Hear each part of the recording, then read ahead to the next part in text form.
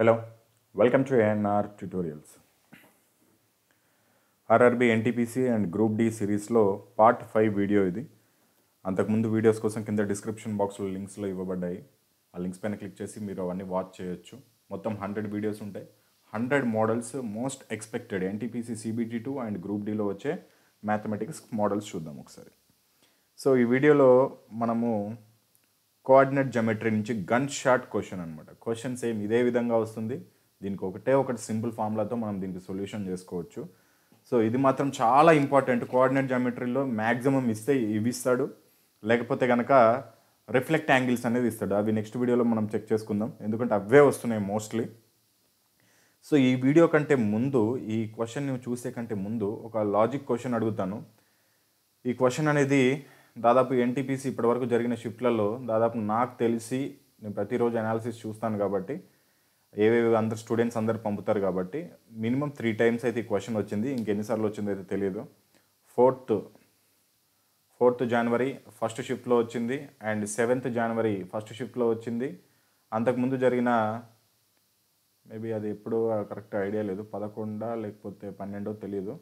Second shift అనుకుంటుంది ఆ షిఫ్ట్లో రావడం జరిగింది. సేమ్ ఈ క్వశ్చన్ ఈ క్వశ్చన్కి ఎంతమంది లాజిక్గా సమాధానం చెప్తారో చూస్తాను. మీరు నిజంగా వన్ మినిట్లో చేసారో లేదో కూడా నాకు కింద ఆన్సర్ సెక్షన్లో కమెంట్ సెక్షన్లో తెలపండి. ప్లస్ దాని ఆన్సర్ కూడా కమెంట్ సెక్షన్లో రాసి పంపండి.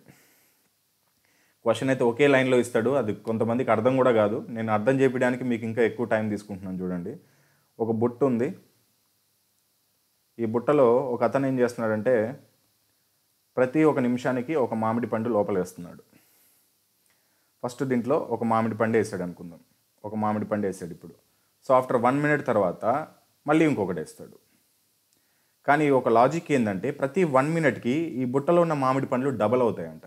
అంటే ఫస్ట్ ఇతను ఒక మామిడి పండు వేసాడు. సో ఒక మామిడి పండు ఉంది. వన్ మినిట్ తర్వాత ఆటోమేటిక్ ఇది ఏమవుతుంది డబల్ అయిపోతుంది. అంటే రెండు మామిడికాయలు అవుతాయి. రెండు మామిడి పండ్లతో పాటు మళ్ళీ వన్ మినిట్ అయింది కాబట్టి ఆల్రెడీ ఇంకొక మామిడి పండు కూడా వేస్తాడు అతను. మొత్తం మూడు మామిడి పండ్లు అయినాయి. మళ్ళీ వన్ మినిట్ తర్వాత ఈ మూడు ఏమవుతాయి? ఆరు మామిడి పండ్లు అవుతాయి. వన్ మినిట్కి మళ్ళీ ఒకసారి అతను మామిడి పండు లోపలేస్తాడు. సో అప్పుడు రెండు నిమిషాల తర్వాత ఎన్ని మామిడి పండ్లు ఉంటాయి అప్పుడు? ఏడు మామిడి పండ్లు ఉంటాయి. సో ఈ విధంగా ఈ బుట్ట మొత్తం థర్టీ మినిట్స్లో నిండుతుందంట.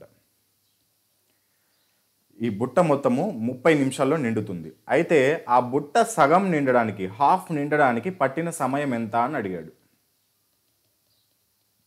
సో ఈ ఆన్సర్ని కింద కమెంట్ సెక్షన్ తెలియజేయండి. నిజంగా మీరు మ్యాథమెటిక్స్ని లాజిక్ ప్రకారంగా చేస్తున్నట్లయితే ఈ క్వశ్చన్కి ఆన్సర్ తెలుస్తుంది. ఒకవేళ మీరు బైహార్ట్ చేస్తున్నట్లయితే మాత్రం ఈ క్వశ్చన్ మీకు అదో రకంగా అనిపిస్తుంది. ఒకవేళ ఆన్సర్ కూడా చేయొచ్చు కానీ టైం టేకింగ్ తీసుకుంటుంది.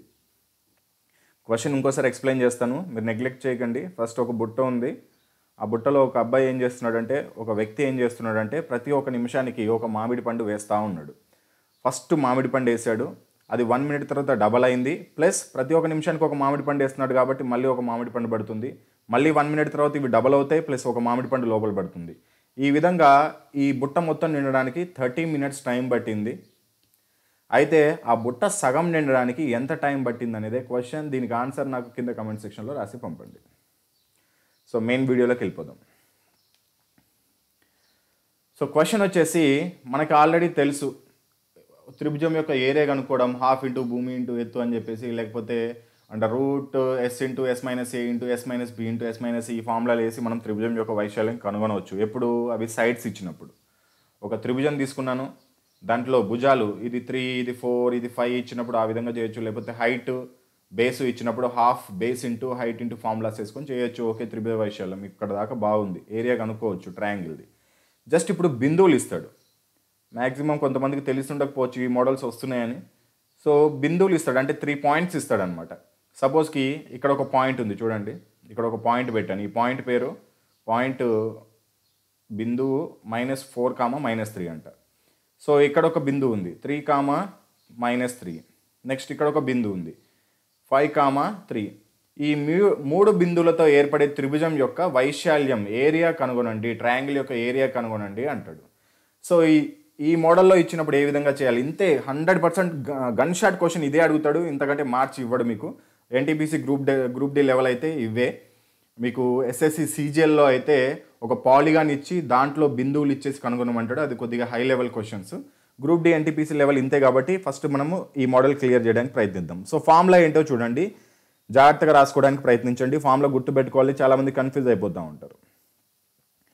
హాఫ్ మాడ్ ఇది. మాడ్ అంటే మీకు మీనింగ్ తెలుసో తెలీదో లోపల ఉన్నదానికి ఫైనల్ ఆన్సర్ వచ్చేసి సింప్లిఫికై సింప్లిఫికేషన్ చేసిన తర్వాత ఈ మాడ్ లోపల ఒకవేళ మైనస్ వస్తే మైనస్ని ఇగ్నోర్ చేయొచ్చు అని అర్థం. అంటే మైనస్ని క్యాలిక్యులేట్ చేయకూడదు అని అర్థం. సరే అది నేను చూపిస్తానులే అదేంటో. Half mod X one into Y two minus Y three plus X two into Y three minus Y one plus X three into Y one minus Y two. So ఇప్పుడు మనము ఈ బిందువులను ఈ విధంగా రాద్దాం. ఏ విధంగా చేయాలో ఒకసారి చూద్దాం. ఇది ఫస్ట్ బిందువు. ఇది త్రీ కామా మైనస్ త్రీ. ఇది ఫైవ్ కామా త్రీ. సో దీన్ని నేను ఈ విధంగా అనుకుంటా. ఇది ఎక్స్ వన్ ఇది వై వన్. ఇదే విధంగా అనుకోవాలి. X two Y two. X three Y three. And ఇంకొకటి ఫస్ట్ ఇదే బిందువు ఎందుకు తీసుకోవాలి? ఈ బిందువు తీసుకోవచ్చు కదా. త్రీ కామా మైనస్ త్రీ తీసుకొని దీన్ని ఎక్స్ వన్ వై వన్ అనుకోవచ్చు కదా అంటే అనుకోవచ్చు. మీరు ఏ ఏ విధంగా అయినా చేసుకోవచ్చు. దీన్ని ఎక్స్ వన్ వై వన్ అని అనుకోండి. దీన్ని ఎక్స్ వన్ వై వన్ అని అనుకోండి ఏదైనా అనుకోండి. కాకపోతే ఆ బిందువులో ఫస్ట్ బిట్ ఫస్ట్ పాయింట్ని ఎక్స్ వన్ అనుకోండి తర్వాత దాన్ని వై వన్ అనుకోవాలి. X two Y two X three Y three so ఇప్పుడు ఫార్ములాలో ఇన్స్టాల్ చేద్దాం. హాఫ్ ఎక్స్ వన్ ఎంత ఉంది minus four next Y two minus three next Y three minus three plus X two three Y three అంటే three minus why one అంటే minus three. So minus into minus plus అయిపోయింది. Next plus X three. X three అంటే five into Y one. Y one అంటే minus three. Minus Y two. Minus into minus plus అవుతుంది. So plus three అవుతుంది. So mod ఈ విధంగా పెట్టుకున్నాను. So ఇప్పుడు next simplification చూడండి. హాఫ్ నా మూడు మూడు ఆరు అవుతుంది. మైనస్ సిక్స్ అవుతుంది. Six into four twenty four minus into minus plus అవుతుంది. ట్వంటీ ఫోర్ ప్లస్ ఈ త్రీ ప్లస్ త్రీ ఎంత అవుతుంది మనకి? సిక్స్ అవుతుంది. సిక్స్ ఇంటూ త్రీ ఎయిటీన్ అవుతుంది. ఇక్కడ minus three plus three cancel అయిపోతే జీరో అయితే జీరో ఇంటూ ఫైవ్ జీరో అవుతుంది.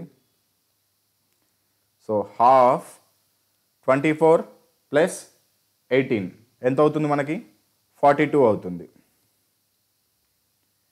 ఇక్కడ మాడ్ ఉంటే మీరు ఏం చేయాలి? ఇప్పుడు ప్లస్ చేయాలా ఇంటూ చేయాలా మైనస్ చేయాలనుకుంటారు మాడ్ అంటే ఏం లేదు అర్థం.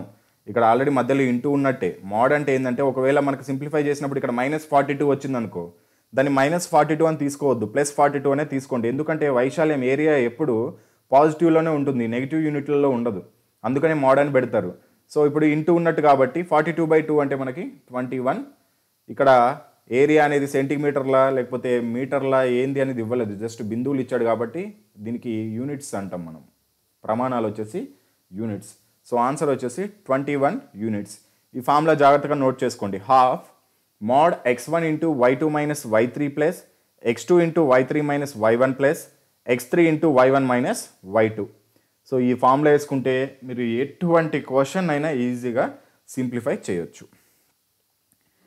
నెక్స్ట్ నేను ఇందాక ఒక క్వశ్చన్ అడిగాను. ఫస్ట్లో లాజిక్ క్వశ్చన్ దాంతో పాటుగా ఒక క్వశ్చన్ ఇప్పుడు సేమ్ దీనికి రిలేటెడ్గా నేను చెప్తున్నాను. ఇది కమెంట్ వరకు నాకు దీని ఆన్సర్ వచ్చేసి కింద కమెంట్ సెక్షన్లో రాసి పంపండి.